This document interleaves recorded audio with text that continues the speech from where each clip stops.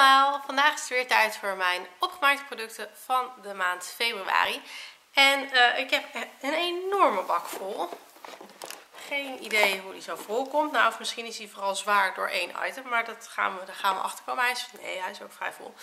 Uh, mijn haar wil niet. Ik heb het in de staart gedaan. Um, zo loop ik al de hele dag bij.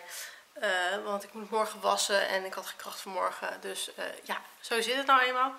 Uh, maar laten we maar beginnen met het zwaarste item en dat is een kaars. En dat is deze kaars van de Ikea. En uh, dit is de, nou het is een zo'n, zo, volgens mij dat zinlig of zo, weet ik eigenlijk niet zeker. En dit is de, de grijze variant en die ruikt, ja ik vind hem altijd een beetje ruiken naar sauna, ik vind hem heel lekker. Er staan stenen op het plaatje, maar ik heb geen idee. Uh, en zoals je ziet is hij echt super netjes opgebrand. Want soms heb je bij kaarsen dat het gewoon niet mooi opbrandt. En nu is er nog een heel klein grijs randje, maar het valt eigenlijk heel erg mee. Dus ik ben zeer onder de indruk. Ik heb, nu, uh, ik heb hem ook weer opnieuw gekocht en ik heb nu even een ander staan, een vanille geloof ik, een witte. Gewoon omdat ik het eigenlijk mooier vind staan waar die staat op het gangkastje. Maar ja, deze geur vind ik echt fantastisch. Dan een shampoo. Dit is de Renewing, Renewing Argan Oil of Morocco shampoo. En deze is van OGX. En uh, dit is een, ja, ik vond het een hele fijne shampoo. Het is een, even kijken of hij nog iets speciaals doet. Alleen dus renewing, geen idee. Ik vind het een hele fijne shampoo. Volgens mij zit hier geen echt arganolie in of een heel laag percentage. Uh, dus dat is een beetje bedriegelijk aan de verpakking. Maar um, ik weet niet voor degenen die mijn uh, vlogs ook volgen. Die hebben ook wel gezien dat ik uh, um, met Sinterklaas had ik ook een arganolie shampoo gevraagd. En mijn vader had mij getrokken met loodjes. En die heeft een hele andere arganolie shampoo gehad. Omdat hij zei, degene die jij vroeg, die uh, is, was niet met arganolie. En dat kon, hij niet, dat kon niet aan. Dus hij heeft een andere arganolie shampoo gedaan van de tuinen volgens mij. Of wat een Barretto tegenwoordig ook heet. Uh, maar goed, deze heeft dus geen arganolie. Maar ik vind hem wel heel fijn.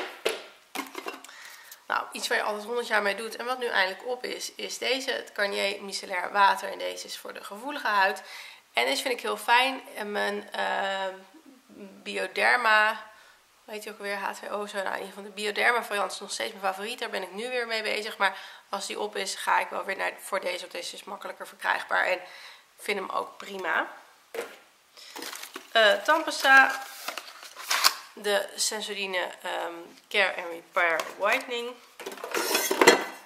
Mijn lievelings droog shampoo. Dit is de Sebastian Dynamic droog shampoo. En die gebruik ik eigenlijk altijd uh, alhoewel ik het nu een beetje probeer te minderen. Omdat ik het gevoel heb dat... Um, als, als ik, ik doe dit dus... Wat ik eigenlijk doe is ik was mijn haar. Dan droog ik het en dan doe ik dit erin. Droog ik het nog een beetje en that's it.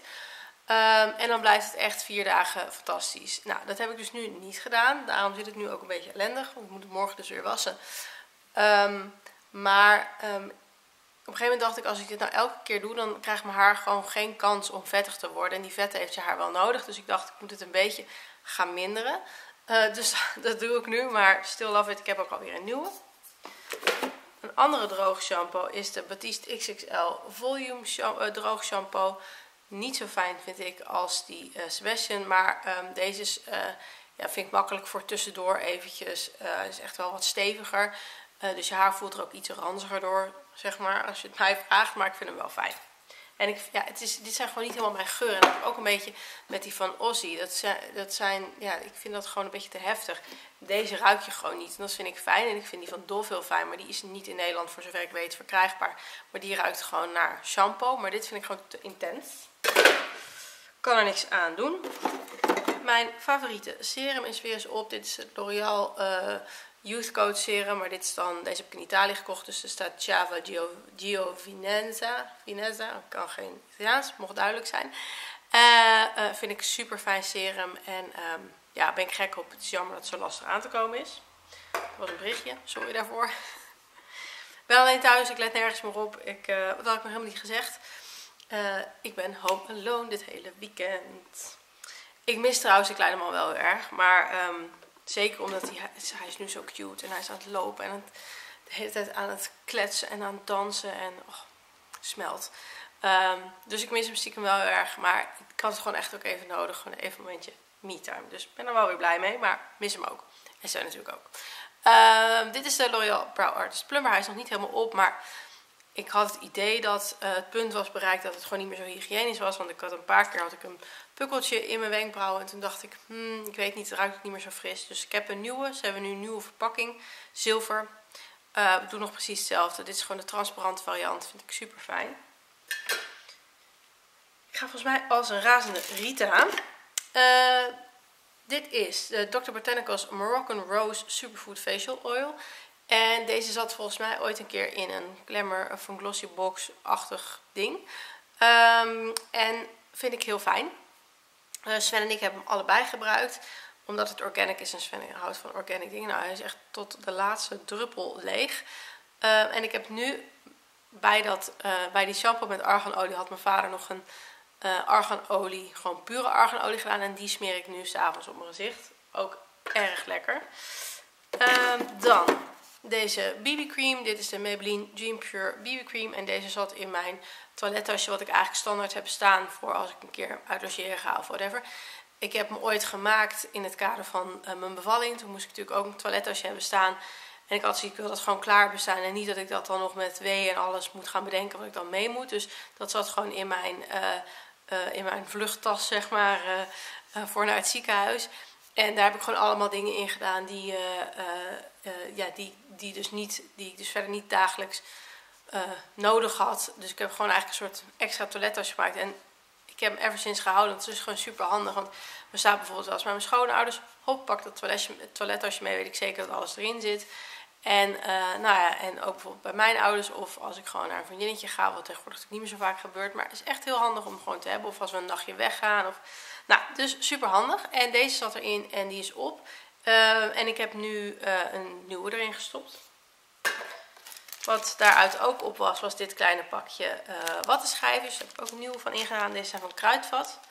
Ik heb ook de grote variant opgemaakt, zoals altijd. Um, dan, even kijken, ga ik mijn dingen afmaken.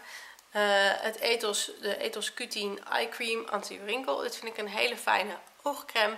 Een tijdje geleden vond ik het assortiment aan oogcremes zeg maar, van uh, de gewone drogisterijmerken best wel uh, weinig. In ieder geval zeker voor een droge huid. En ik vind dat het de laatste tijd echt super goed is. Um, ik heb deze ook opnieuw gekocht, want ik vind hem heel fijn. Dan het Elvive Toto Repair Extreme. Deze zie je me volgens mij ook bijna in al mijn um, opgemaakte video's voorbij komen. Vind ik heel fijn. Dan twee dingen van Niels. En dat is allebei, het ziet er ook niet meer uit, maar het zijn twee producten van Weleda. De eerste is de Calendula verzorgende olie. Deze moet ik nog even opnieuw kopen. En hier smeer ik hem mee in na een badje. Hij gaat over het algemeen twee keer per week in bad na het kinderdagverblijf. Dus uh, hij gaat twee dagen per week naar het kinderdagverblijf en dan daarna gooi ik in bad, want dan is hij vaak heel ranzig. Um, en dan gebruik ik dit daarna en het is gewoon heel fijn en verzachtend en lekker. En uh, de andere dagen dan smeer ik hem alleen maar in als het echt nodig is. Maar dan doe ik het meestal meer met een body lotion in plaats van een olie. Um, waar ik hem ook dan mee insmeer is dit. Dit is de Calendula gezichtscreme. En deze is ook heel fijn. En uh, ik heb ook de paarse variant. Volgens mij voor de gevoelige huid. Het maakt hem verder niet zoveel uit. Ik heb ook de weer- en windbalsem hiervan. Vind ze allemaal fijn. Uh, hij heeft soms hier heel droog en hier heel droog. Dus dan is het wel lekker om daar wat op te kunnen smeren. Dan nog drie dingen van Sven. Deze komen elke maand voorbij van Nivea, Deo en douchegel. En tandenstokers van Jordan.